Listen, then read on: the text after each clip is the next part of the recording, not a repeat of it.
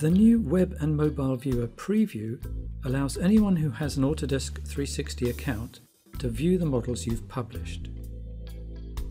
Filter or search to find specific models here. With the new interface using tiles, reviewers can see the whole model. Let's hide the scenarios for the time being. Here you can zoom in to show more detail.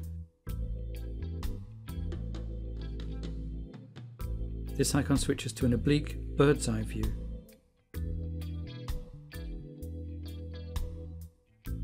The markers indicate the scenarios that you've created to show specific projects. Let's show the scenario tiles again.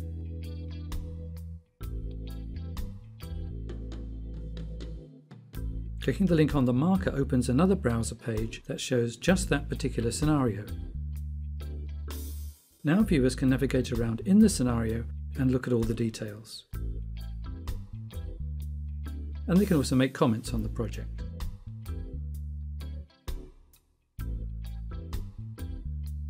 So the main view provides the context for the various projects, while the scenario view makes it easy to conduct a detailed review.